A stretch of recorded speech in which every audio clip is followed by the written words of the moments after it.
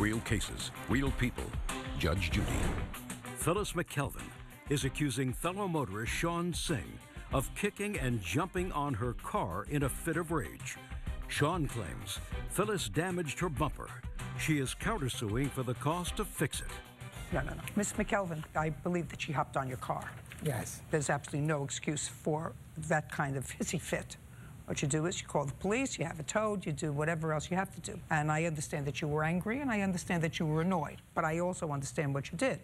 Now, do you have a bill for any damage that was allegedly done to your bumper? Yes. I'd like to take a look at it.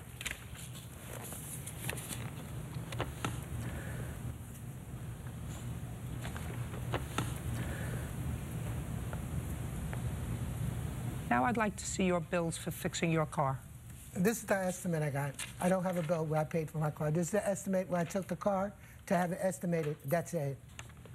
Oh, great. Here, you can return this to her. You can return this to her, please. It cost her $609 to fix her bumper. That's what I'm awarding you, $609. That means it's a wash. You're supposed to be careful with what you do to your car. You fixed the bumper yourself. I would have awarded you money if you hadn't had the hissy fit, if you hadn't stomped on her car. But I her didn't car, stomp on her Yeah, I believe you did.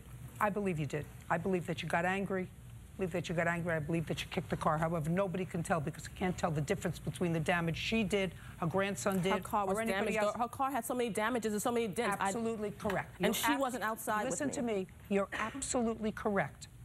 But I believe that you did, in fact, put your foot on her car, and you can't do that. As a result of that, Miss McKelvin is getting no money. She's leaving here today empty-handed. She drives this beat-up car. That's the way she'll continue to drive it, and maybe she'll be more careful. But you have to fix your own bumper, because that's what happens when you have a temper. That's all. Sorry, sir, excuse me, step out.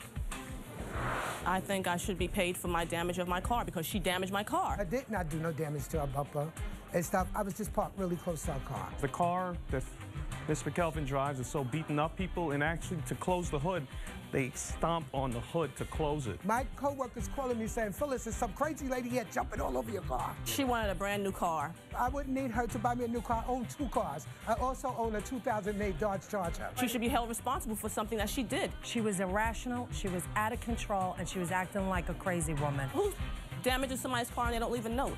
I mean, come on. I've been parking there for the last 15 years. I have to be to work at 4.40 in the morning. My car would be parked there again.